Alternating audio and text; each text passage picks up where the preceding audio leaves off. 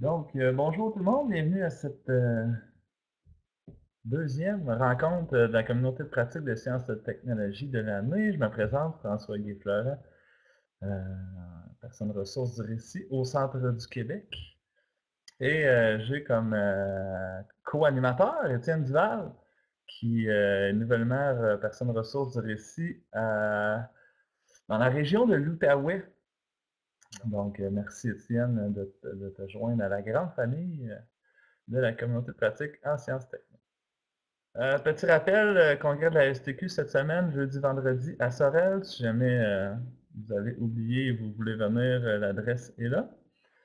donc, ça, c'est l'Association pour l'enseignement des sciences et technologies au Québec. Euh, Sophère sera entre autres, si jamais vous voulez leur parler. Mise à jour, bim! Je cède la parole tout de suite à Monsieur Laurando.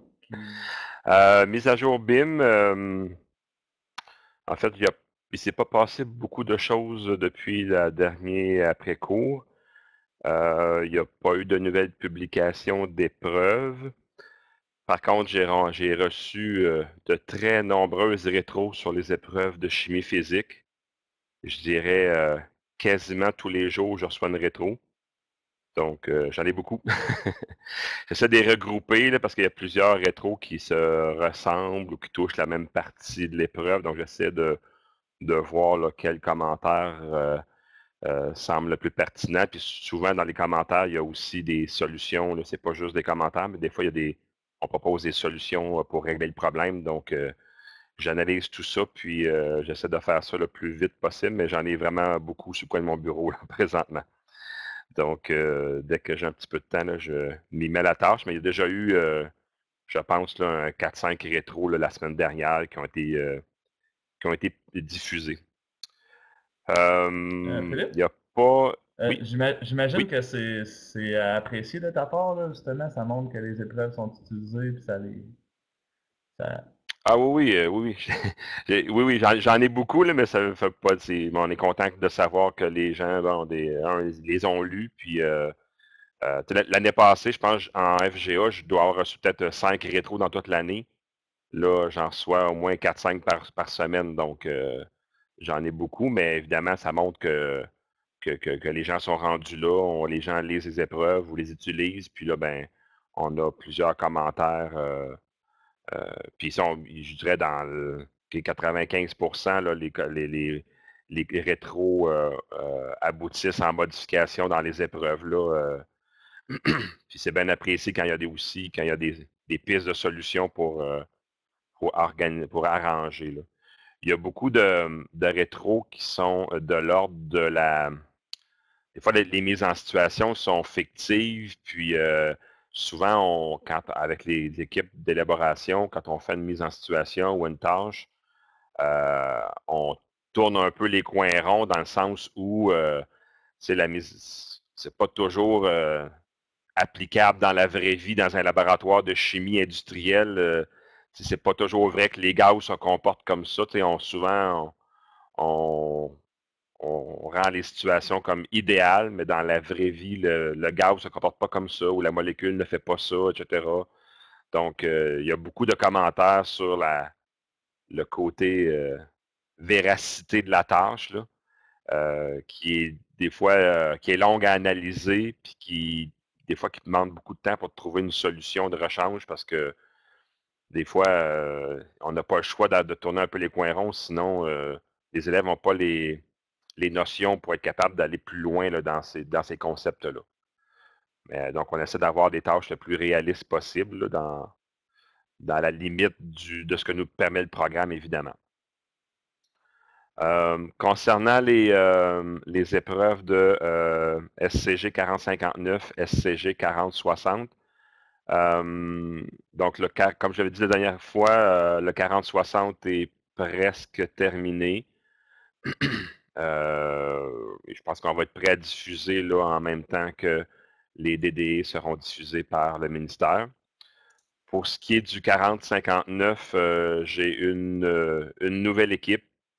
Et donc, j'ai un, tout, on est au tout début du processus, mais on a une épreuve de 4059, là, une version A, qui est en, qui est en, tout début d'élaboration.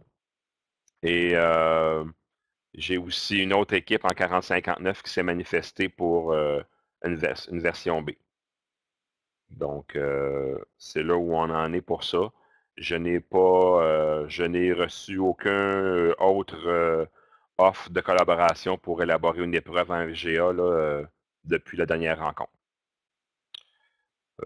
voilà pour ça. Euh, dernier point, euh, un communiqué a, été envoyé hier concernant l'épreuve chimie 5061D. Euh, des considérations de droit d'auteur ont fait en sorte qu'on a dû retirer l'épreuve. Donc, on demande aux gens de ne pas utiliser l'épreuve jusqu'à nouvel ordre. je travaille fort pour modifier l'épreuve, puis redéposer dans l'examen une nouvelle une version corrigée là, qui serait. Euh, mon objectif, c'est de faire ça au milieu de la semaine prochaine. Donc, euh, maximum la fin de la semaine prochaine, la situation devrait être rétablie. Ça fait le tour de ma mise à jour, je sais pas. Donc, Philippe, je rappelle, qui travaille chez Grix pour la banque d'instruments de mesure, entre autres. Prochain point, j'ai reçu un tutoriel de Hélène qui travaille à Lester B. Person School Board.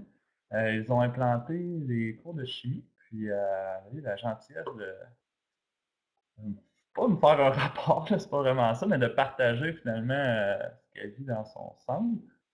Et je vais vous en lire quelques extraits.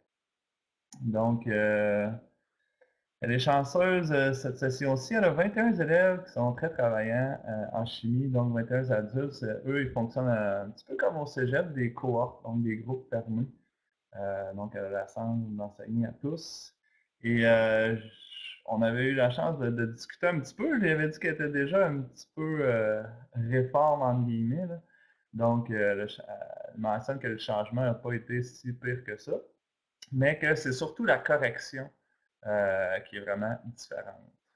Sinon, information intéressante, la majorité de ses élèves prennent environ une heure pour euh, vraiment analyser la situation, se représenter la situation, écrire leur protocole, tout ça, avant de commencer à faire l'expérience. Donc, c'est quand même une heure sur trois. J'imagine qu'au bout de cette heure-là, euh, les tâches dans le cahier de l'adulte sont assez bien remplies. Mais euh, pour ceux qui n'ont pas encore expérimenté les nouveaux cours, ça peut vous donner une idée. Donc, voilà pour cette petite, euh, ce petit témoignage. Donc, merci Hélène, que je salue, qui écoute euh, en différé les visioconférences. Un autre petit, euh, petit point, un autre message que j'ai reçu de Guy Mathieu qui ne pouvait pas se joindre à nous aujourd'hui. il a déposé, je sais, planification de cours. Donc, Guy Mathieu qui enseigne à la, commission scolaire de la vallée des Tisserands, qui est aussi un collaborateur avec le ministère. Puis, lui, il enseigne une classe de sciences. Là, je pense qu'il y a une vingtaine d'élèves à peu près, juste en sciences, mais tous les cours. Et euh, il a déposé sa planification pour le 4061 à partir du matériel maison qu'il avait déjà déposé, mais que là, il a amélioré certaines situations, euh, dont le réalisme et tout ça. Et il a redéposé ça sur Moodle FGA. Il a aussi déposé sa planification 4062 avec RP et Chimie 5061, 5062 avec RP. Donc, euh, Martin Lahaye aussi avait déposé des choses. Euh, il y avait Anthony Wong-Sing et Justin Béchard aussi qui avaient déposé. Donc, c'est sûr que tout ça se, rejoint un peu les mêmes bases, mais ça offre, comme il dit dans son message, trois façons, euh, trois planifs un petit peu différentes. Donc, vous pouvez piger au travers ça. je prends le temps de remercier Guy beaucoup pour ce, travail. Je sais que c'est super apprécié de partager, partager. Et il faisait dire que le 40, le 4064 est en train de finaliser, devrait être déposé très bientôt. Et 4063, euh, il se garde comme dessert. Et ensuite, le SCG, il va travailler là-dessus pendant quand le matériel sera sorti. Donc, euh, merci beaucoup, Guy. Euh, vous y accédez par modèle FGA. Dans le forum, il y a un forum de discussion, mais aussi le forum matériel où on dépose tout cela. Merci. Donc, euh, rentrons maintenant dans les points de discussion. Euh, Une question ici posée par, euh, je ne sais pas exactement qui, mais est-ce qu'on peut évaluer le protocole de l'élève même si on lui a donné le protocole proposé à l'épreuve pratique? Donc, ce qui n'était pas clair pour moi dans la question, c'est évaluer le protocole. Donc, est-ce qu'on parle d'évaluer ce qui est écrit dans le protocole qu'on vient de lui donner ou plutôt les manipulations? Étienne. La suite, c'est que euh, dans les contextes où est-ce que le protocole il n'est pas parfait, parfait, nous, on donnait systématiquement le protocole fourni à l'élève. On évaluait quand même le protocole reçu, mais dans un deuxième temps. on faisait juste un, survol rapide pour voir si le protocole était vraiment là, exceptionnellement, ou est-ce qu'il n'y aurait aucun problème à faire cette expérience-là, pour ensuite l'évaluer, mais un peu après, comme, en, examen standard, si on veut. Un peu, un peu comme qu'on faisait par, par le passé. Euh, l'avantage pour l'élève puis pour l'enseignant, c'est euh, la deuxième étape devient beaucoup plus facile à évaluer parce que l'élève possède un protocole qu'on sait qui est conforme, qu'on sait qui va donner des résultats qui ont de l'allure. Euh, c'est sécurisant pour l'élève aussi, dans certains cas. Ça lui permet de, bon, ben, je vais produire quelque chose, mais je vais quand même être capable de faire le reste de mon examen si j'ai des difficultés. nous, on avait trouvé ça avantageux, puis on avait utilisé cette approche-là. Ben, ça ressemble un petit peu, là. Mais euh, dans le fond, nous, on se disait qu'on ne pouvait pas donner systématiquement le protocole à l'élève. C'était euh, celui du. Celui, celui que, du corrigé. Là. Dans le fond, l'élève il fait son protocole, puis s'il décide, si on juge que c'est correct, puis qu'il décide de faire son expérience, même si ce n'est pas complet, ben, parce qu'il y a la possibilité d'ajuster son protocole en cours de manipulation, il peut se rendre compte qu'il a oublié une étape, puis l'a rajouter, ce qu'il ne peut pas faire si on lui donne le protocole. Mais s'il il fait son protocole, ben, il rédige chez manipulation, puis qu'il trouve que ça ne va pas bien, puis il commence son expérimentation, puis là, il voit que ça marche pas, puis il nous demande, là, on lui donne, mais on ramasse le protocole qu'il a fait, puis on lui a d'accord quand même quelques points pour ce qu'il a fait. On ne met pas zéro parce qu'il a demandé, euh, zéro sur tous les critères parce qu'il a demandé le protocole. Vu qu'il a quand même rédigé quelque chose, puis il y avait une partie qui était correcte. Puis si, mettons, il avait bien coché son matériel, euh, on ne peut pas lui mettre tout zéro partout. Mais on trouvait que c'était un peu euh, raide comme façon de procéder, de mettre zéro quand on lui remettait le protocole. Mais ce n'est pas systématique. oui, euh, dans euh, notre commission scolaire, euh, il y avait comme deux situations particulières qui arrivaient lorsque le protocole était partiel ou lorsque le protocole était vraiment, il n'y avait rien. Donc, pour les élèves que le protocole était réalisable, puis que l'élève voulait avoir le protocole qu'on pouvait lui donner, euh, on faisait l'observation du protocole qu'il y avait, puis effectivement, on donnait, comme Patricia aussi, on donnait les points pour ce qu'il avait déjà fait avant euh, de lui donner le protocole. Puis ça, c'était seulement si euh, il voulait avoir le protocole. Fait qu'on regardait, puis déjà en regardant, on était capable de noter ce qu'il avait fait. Si l'élève avait fait un protocole qui était incohérent, Là, à ce moment-là, on lui donnait le protocole du ministère qui nous avait fait la demande, puis on faisait, euh, là, il n'y avait pas de point pour ce protocole-là. C'est arrivé qu'un élève avait fait un bon protocole, ce n'était pas selon le modèle du ministère, c'était complètement différent. Puis il a demandé quand même le protocole du ministère. Puis, euh, mais c'était bon, tout ce qu'il avait fait, c'était bon, puis il aurait pu arriver au résultat. Celui-là, on s'est posé beaucoup de questions et qu'est-ce qu'on fait avec ça? Parce que c'était pas euh, avec euh, la grille du. ça correspondait pas aux manipulations du ministère, mais on s'est quand même dit que parce que le, protocole qu'il avait fait, il aurait pu arriver au résultat, on lui a quand même accordé des points à ce niveau-là. Merci beaucoup, euh, Étienne, Patricia et André pour votre, votre partage. Ce que je retiens de ce que je comprends, c'est que le, jugement est là beaucoup. Euh, et de ce que je comprends des pratiques aussi, c'est pas parce qu'on le remet qu'on met automatiquement zéro. Si, euh, c'est, pas, c'est, différent du cas où l'élève est bloqué, il, il écrit absolument rien, il voit le temps qui file, puis là, il demande le protocole. À ce moment-là, il n'y a vraiment rien conçu. Euh, donc c'est difficile de mettre autre chose que zéro, mais si, dans, comme dans les cas qu'on a entendus, c'est plus par insécurité qu'il demande, mais ce qu'il a fait, c'était déjà bien, mais là, on ne va pas nécessairement, euh, on va assurément pas mettre zéro. Euh, je pense, André, c'est intéressant de, se questionner sur des cas précis comme ça. Ce c'est pas tous les cas qui sont comme ça, mais quand ça arrive, on aime ça. on aime ça savoir quoi faire. Qu'allez-vous exiger dans vos centres comme séquence mathématique pour faire les sciences de 4 ou pour les sciences de 5? Sûrement, euh, vite comme ça, moi je, moi je demanderais au moins les mathématiques de secondaire 4 avant de faire chimie physique de 5. Mais pour, pour sciences euh, de 4, par exemple. Oui, Gilles? Je pense que ça s'est pas vraiment. Je pense pas que ça s'est présenté les cas où les élèves n'étaient pas rendus en, en maths de 4 euh, parce que là, on, donne les, sciences de 5, donc euh, j'ai l'impression que les élèves, nous, ici, là, ils sont déjà en 4 en maths, donc on ne s'est pas penché sur cette question-là, mais la question se pose. Peut-être que, comme tu dis, François, il faut euh, exiger un minimum que l'élève soit rendu en 4 en maths aussi. je suis content qu'elle point soulevé. On va pouvoir y réfléchir quand on va avoir plus d'élèves qui vont faire les nouveaux cours en sciences.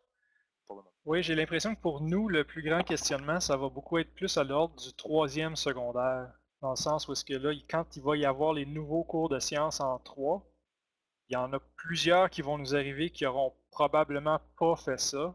Est-ce qu'on les accepte en sciences de 4 immédiatement? Ça va beaucoup plus se tourner dans ce sens-là. Entre le 5 et le 4 jusqu'à date, ça s'est pas. Euh, n'y a pas vraiment eu de question sur euh, est-ce que tu dois faire ton 4 avant le 5.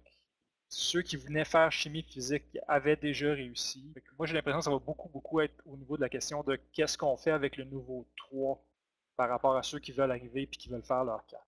Merci Étienne. Euh, France qui, je crois, précisait par rapport à CST ou SN. Je pense pas qu'on puisse euh, refuser des élèves même s'ils n'ont pas fait SN ou TS.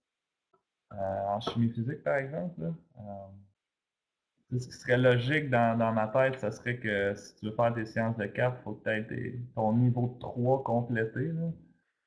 Euh, autant en maths qu'en sciences, c'est comme pas avancer tout décalé. il y a aussi une question de profil de l'élève, c'est quoi son objectif. souvent, dans ce qu'on fait, nous, c'est on essaie de donner tout ce qu'il a besoin pour le DES avant d'aller dans les optionnels. Donc, si les maths de 4 ne sont pas terminées, ben, on n'embarque pas en chimie de 5. On essaie de compléter les, bases, si on veut. Selon nous, la réussite des maths de 3, partiellement 3053, est suffisante pour débuter les sciences de 4. Donc, euh, effectivement, ensuite, l'élève, comme dit Diane, l'élève peut avancer en maths de 4 et en sciences de 4 en même temps. Ils font la même chose au secteur des jeunes. L'idée, c'est peut-être de au moins le premier de trois pour faire les séances de quatre. Donc, Adrien parle. Euh, donc, le premier de trois, là. Euh, Et après ça, Adrien, il fonctionne maths de 3 puis sciences de 4 en parallèle. J'imagine des fois c'est plus facilitant aussi pour euh, partir de trois élèves en même temps en sciences. Là. peut avoir euh, certaines particularités aussi. Oui, ben ce que les enseignants de sciences chez nous disaient, c'est que le plus possible, les notions de droite ont été vues. Donc, euh, le plus possible d'avoir complété euh, les euh, premiers cours de maths de quatrième secondaire, soit CST ou SN, 41-51 ou 41-71, qui sont les deux cours où on aborde les fonctions. dans l'idéal, c'est ça. Mais dans l'ancien programme, ces notions-là ont été vues en, 37. Euh, dans le nouveau, ils envoient aussi en troisième secondaire des fonctions, mais ils vont plus loin aussi en début de quatrième secondaire. Donc, euh, c'est sûr, troisième secondaire réussi, puis dans l'idéal, d'avoir complété peut-être le cahier qui traite des, euh, fonctions.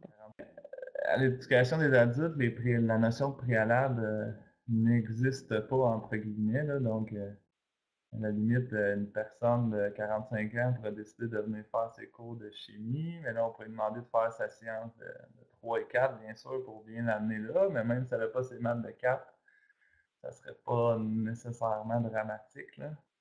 Mais euh, c'est sûr que pour, euh, pour un élève, disons, standard, qui a un profil de formation, je pense que l'idée, c'est de, lui offrir les, les, quand même préalables ordinaires.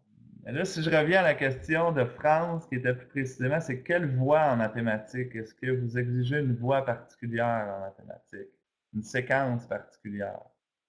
Puis au niveau du programme, euh, corrigez-moi si je me trompe encore, mais ça ne demande pas nécessairement de, mathématiques euh, très avancées. Euh, donc, si jamais l'élève n'a pas les acquis mathématiques, à ce moment-là, c'est à l'enseignant de chimie de, de l'enseigner, mais je, pense que ça peut se faire dans le cours de chimie. Quand j'espère que ça, ça, éclaire un petit peu la question même s'il n'y a pas une, une, voie claire et officielle. Puis même au, au, secteur jeune, souvent les élèves sont en ST de 4 puis ils font leur maths de 3 pendant ce temps-là. C'est pas,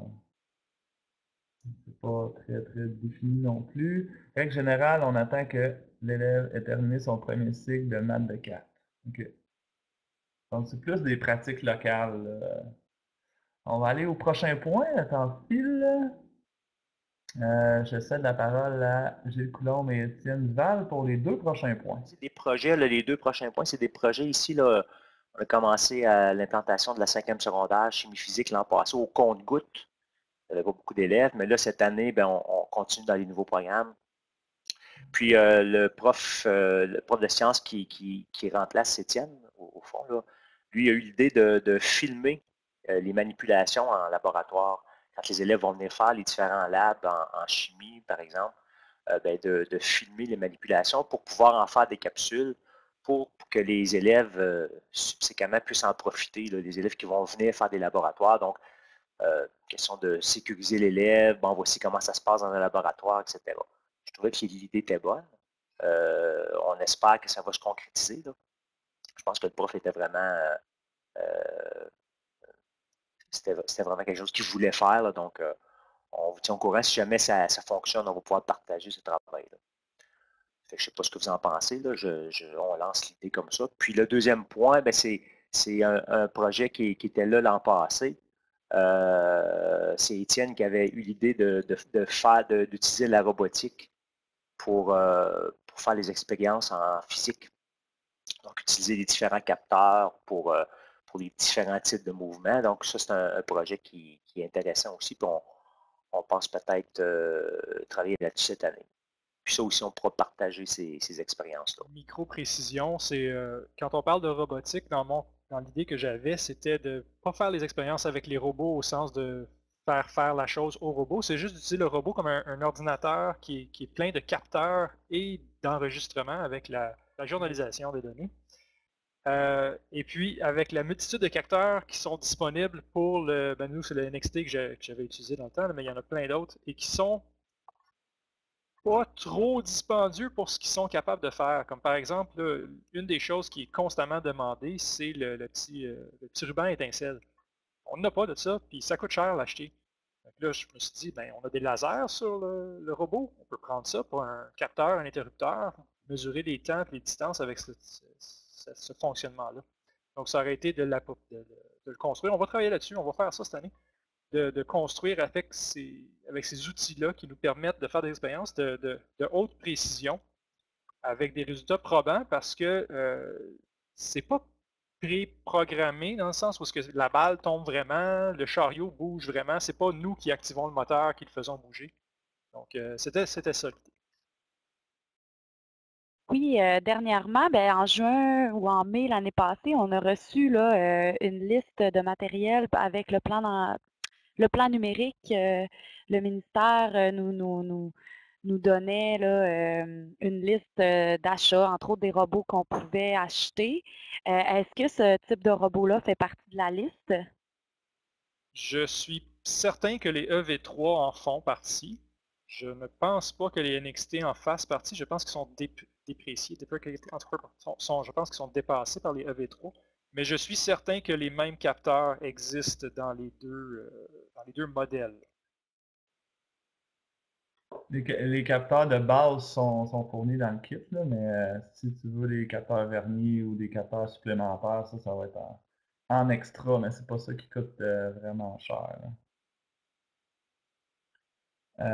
Gilles et Étienne, à Laval, connaissance scolaire de Laval, vous pouvez voir avec Asma, c'est déjà implanté dans leur CS. Des, labs justement en physique, en chimie, où ils utilisent la robotique pédagogique et en Estrie aussi, je pense. Donc, vous pouvez peut-être les contacter, voir qu'est-ce qu'ils ont fait. Peut-être dans d'autres endroits, mais je ne me rappelle pas. Hmm, je vais voir le chat un petit peu. Donc 50 chacun en moyenne pour les capteurs euh, supplémentaires qu'on peut se procurer. Euh, il y a euh, d'autres pistes de solutions aussi. Là. Google qui a sorti une application qui s'appelle Science Journal. Il y a une équipe aux jeunes qui travaille là-dessus. Là, Jean-François à Québec, là, dans le coin de, Marie-Claude, euh, Jean-François Garneau. Puis, il travaille à faire la même chose, mais c'est des capteurs du téléphone cellulaire qui, euh, qui, vont journaliser les données finalement. ça, ça peut être, dans certains cas, ça peut être intéressant d'utiliser même les appareils des élèves pour, faire les expériences. C'est sûr que des fois, c'est peut-être mieux les robots. Là. Moi, j'ai pas le, topo du dossier, mais euh, c'est une autre façon d'intégrer l'éthique et d'acquérir des données finalement. Donc, prochain point, prochain point. Pour les cours d'option CG 40, 59, 40, 60, peut-on connaître les thèmes traités par ces deux sigles? Donc, euh, c'est quelqu'un qui ne peut pas être là, je pense. Euh, donc, je ne sais pas exactement c'est quoi le, mot thème veut dire, mais euh, le programme est maintenant disponible depuis juillet. Donc, euh, Doris vient de copier-coller euh, le lien vers le programme. Donc, dans le programme, on a les différents concepts abordés. Mais si on parle de matériel pédagogique, de maison d'édition, c'est sûr qu'ils peuvent mettre des thèmes particuliers. Mais là, il faudrait demander à la SOFAD qui se sont lancés. Je ne sais pas si RP vont se lancer aussi là-dedans, mais euh, c'est à suivre pour les thèmes, disons, plus pédagogiques que le programme. prochaine question, à moins qu'il y ait des questions, n'hésitez pas à lever la main. Peut-on connaître quand recevrons-nous les épreuves révisées de secondaire 4? Doris, je te lance la question.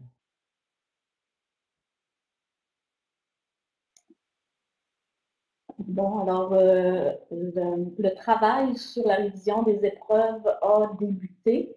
Euh, on compte euh, avancer les travaux pour qu'au début de 2019, le travail soit complété. donc, les modifications, les mises à jour, ça sera, ça sera complété. Et là, vous comprenez qu'à partir de là, on doit euh, envoyer euh, les documents en révision linguistique et un travail de traduction aussi doit être fait. Donc, euh, je ne peux pas là, vous donner une date précise parce que ces travaux-là se font à un autre niveau. mais ce qu'on souhaite, ce qu'on espère, c'est qu'à à, la fin de l'année scolaire, ou du moins au début de l'année scolaire prochaine, vous puissiez travailler avec les, euh, les épreuves révisées. Donc, on, on, a tenu compte de tous les commentaires, les rétroactions euh, qu'on a reçues au ministère. Euh, on a eu des, suggestions. Alors, on fait, on fait l'éventail de tout ça et on analyse ce qui est là pour prendre des décisions qu'on espère éclairer. Alors euh, voilà, donc euh, je, on, veut, on veut terminer donc pour début 2019, euh, genre mois de janvier, février plus tard, et après ça, c'est envoyé pour la suite des travaux. Merci Doris. en, t'écoutant, j'ai deux questions qui me sont venues.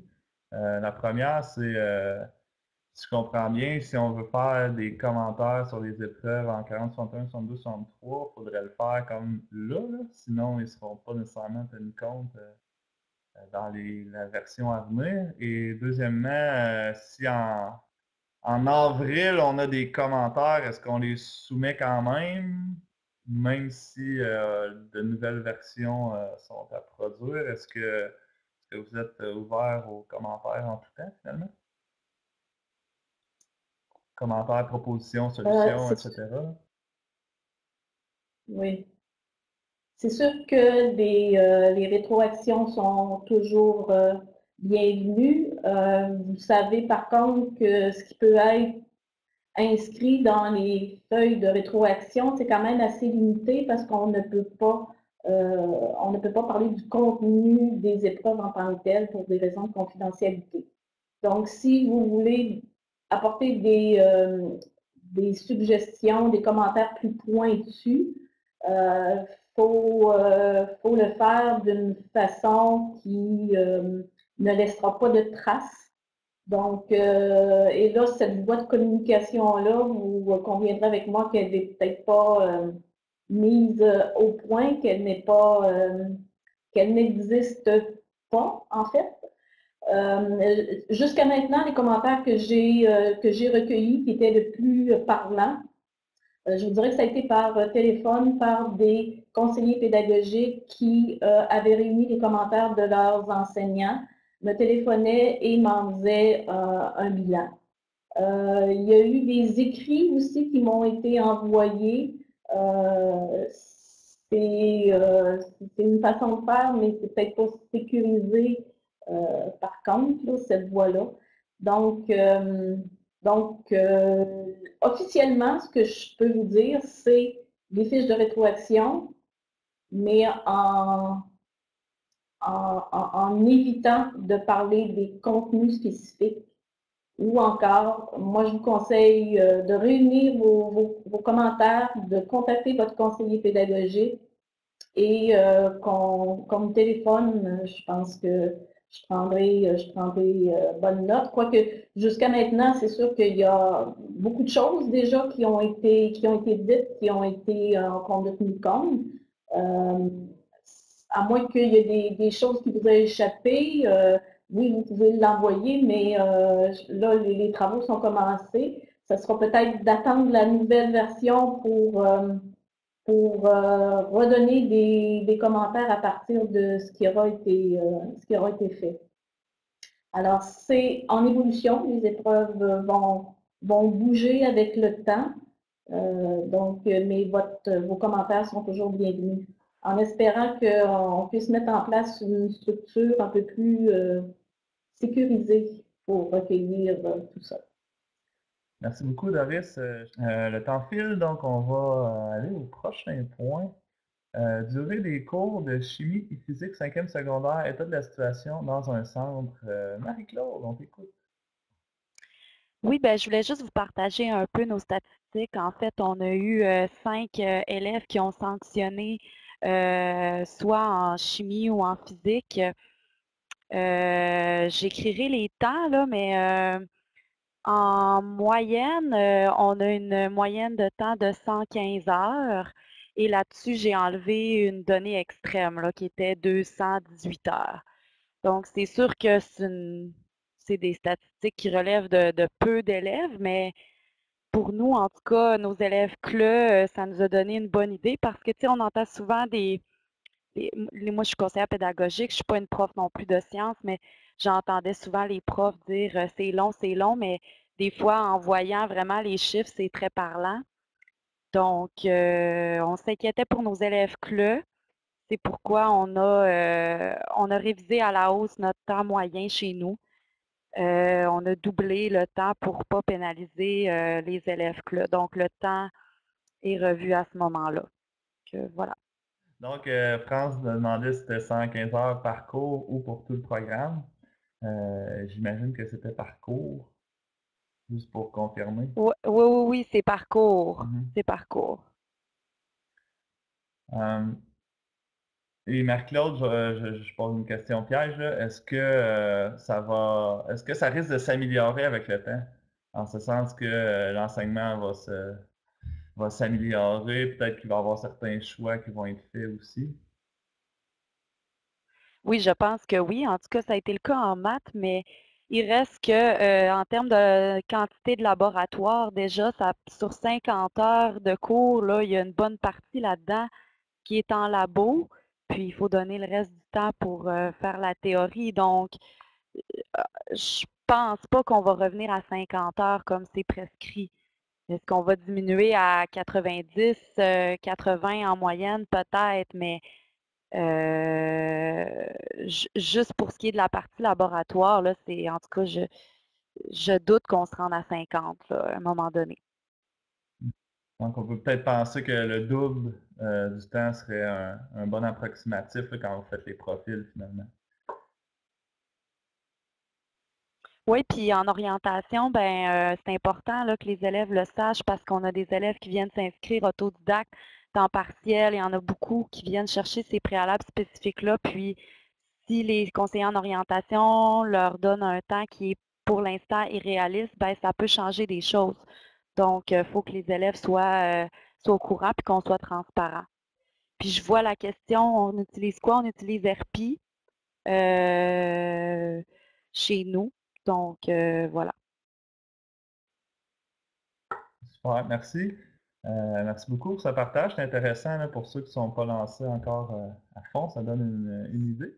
Puis, euh, Marie-Claude, probablement que vos élèves ne font pas encore SCT non plus ou SCG même. Donc, peut-être ça va s'améliorer un petit peu lorsqu'ils vont passer au travers de ces cours-là avant de faire chimie de 5, quoique vos, vos cinq élèves l'ont peut-être fait au secteur jeune déjà. donc, ça va peut-être peut rester sensiblement la même chose. Euh, durée des examens de chimie et de physique, on fait quoi en attendant les nouveaux prototypes? Question de Patricia. Est-ce que tu peux préciser un petit peu, s'il vous plaît? donner suite à mon commentaire de l'autre jour sur le fait que les élèves manquaient de temps. Puis euh, Madame Saint-Amand avait répondu qu'il n'y aurait pas plus de temps, mais qu'il retravaillait le prototype pour les, les raccourcis. Fait que je me demandais ça, euh, combien ça prendrait de temps environ avant d'avoir des nouveaux prototypes, premièrement. Deuxièmement, euh, quand les, prototypes, euh, est-ce que ça serait possible de les avoir de façon numérique? Soit que c'est déposé dans J'examine, surtout pour les parties euh, laboratoires, parce que mais souvent, on est obligé d'adapter un peu le matériel, adapter le document, puis il faut quasiment le taper au complet parce qu'on n'a pas de document numérique. C'est pas très pratique à travailler.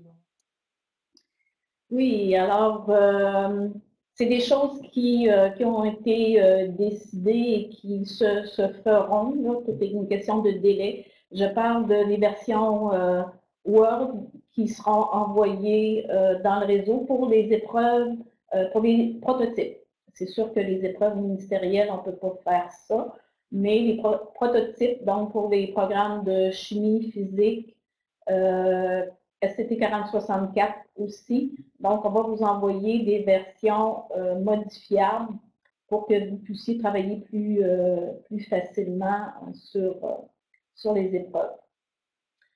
tout est une question de quand est-ce que ça va se faire, c'est sûr, c'est toujours ça.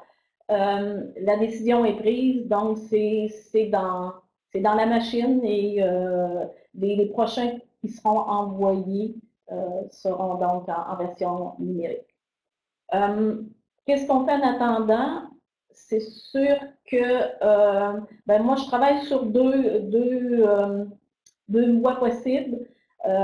Est-ce qu'il y aurait possibilité de modifier la DDE pour allonger le temps des épreuves? Il y a cette possibilité. Et il y a aussi la possibilité de, en attendant que que cette décision-là soit prise, ben, c'est de, de modifier les épreuves pour réduire le temps. Donc, pour que l'épreuve prenne euh, moins de temps. C'est ce que je vous recommande en, attendant, donc de couper des tâches, de, réduire euh, euh, l'épreuve selon, selon ce que vous observez, tout en respectant la DDE. Hein. C'est sûr que c'est très important de respecter la DDE.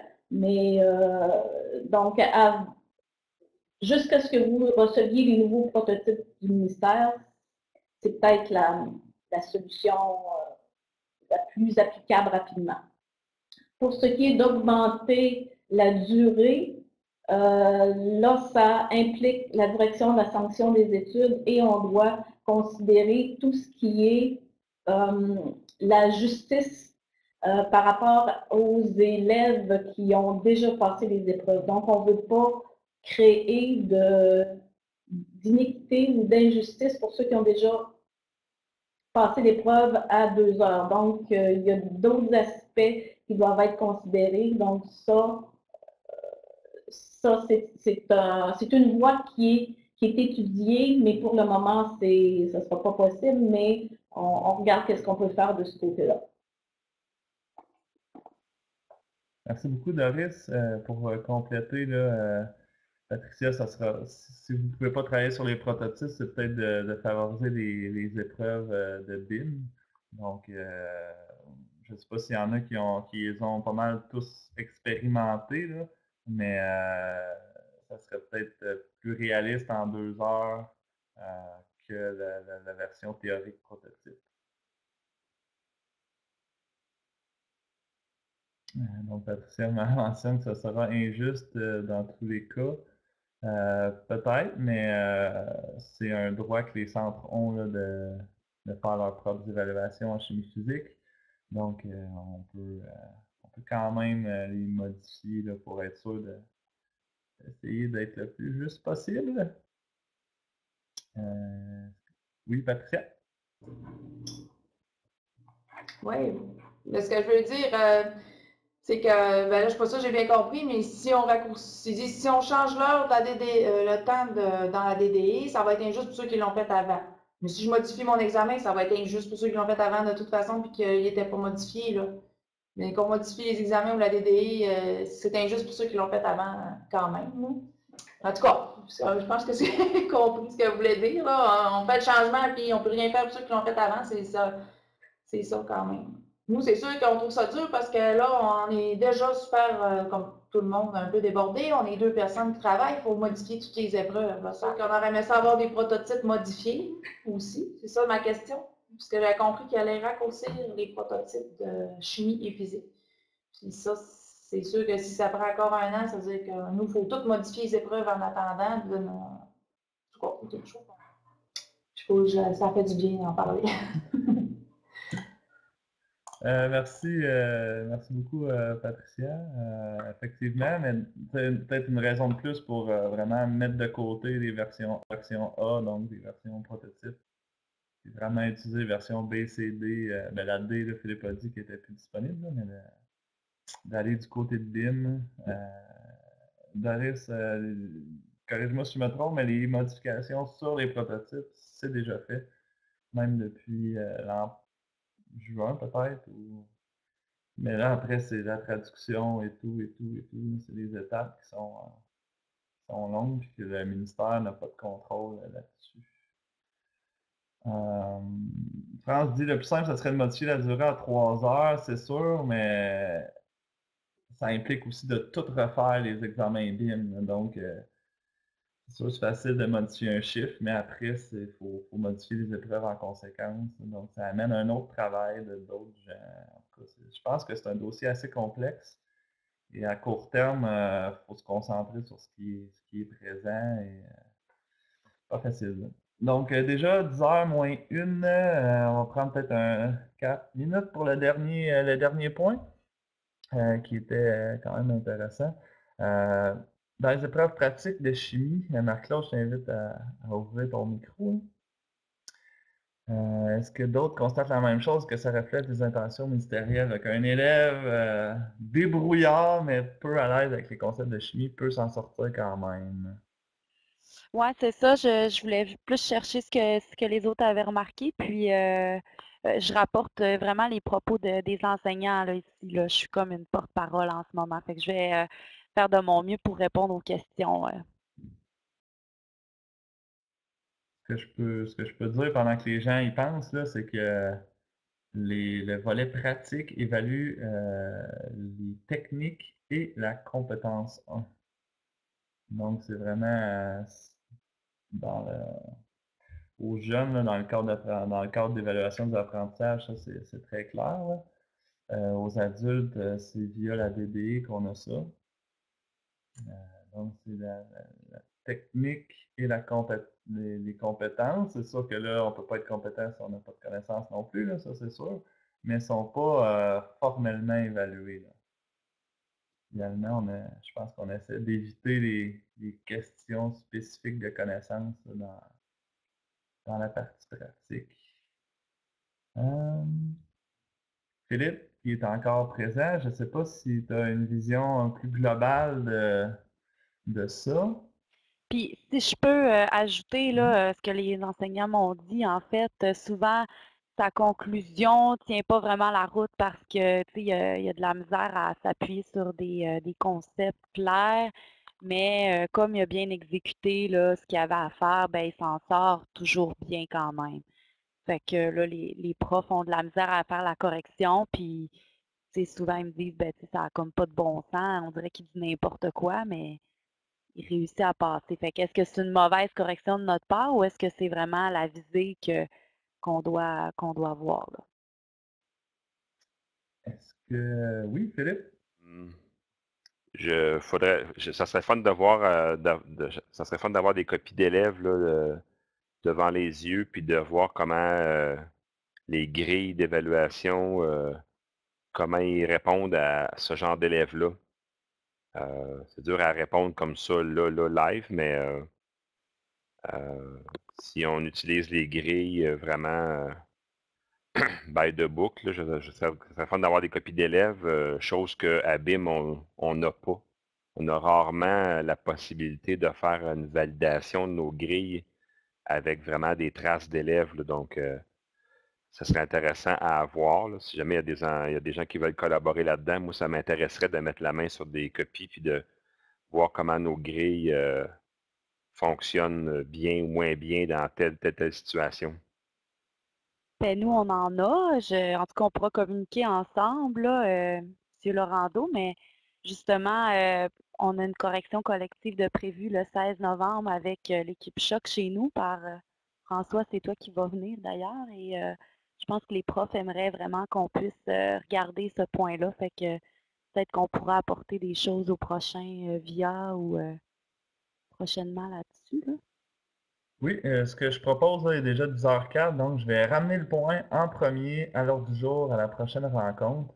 Puis euh, peut-être que les gens auront aussi l'occasion d'en discuter dans leur milieu. Mais euh, un constat, j'ai discuté avec Guy aussi qui a, donné beaucoup d'examens. Nous, on en a donné quelques-uns. Mais c'est les parties pratiques qui sont les mieux réussies. Euh, les élèves sont assez faibles au niveau théorique. Même les questions de connaissances théoriques, c'était pas facile. Donc, ça reflète un petit peu aussi ce que tu dis. Est-ce que les examens pratiques sont, sont je pense pas qu'ils sont trop faciles non plus, mais euh, bref, euh, c'est sûr que ça c'est vraiment découpé euh, selon les quatre critères. Puis si l'élève réussit bien son protocole et manies, ben, il y a déjà la moitié des points ou presque de ramasser. Mais de, ce qu'on constatait dans, nos milieux, c'était que les, parties pratiques étaient beaucoup mieux réussies que les parties théoriques. Euh, je vous remercie beaucoup de votre présence. Je reporte ce point-là très intéressant à la prochaine rencontre. Et euh, continuez d'amener vos points à l'ordre du jour. C'est dans, ces cas-là, je trouve que c'est le plus pertinent. Bonne fin de journée tout le monde. Euh, prochaine rencontre ne sera pas le 7 décembre. On va changer la date. Je vous envoie la date dans les prochains jours en même temps que le résumé. Au revoir tout le monde.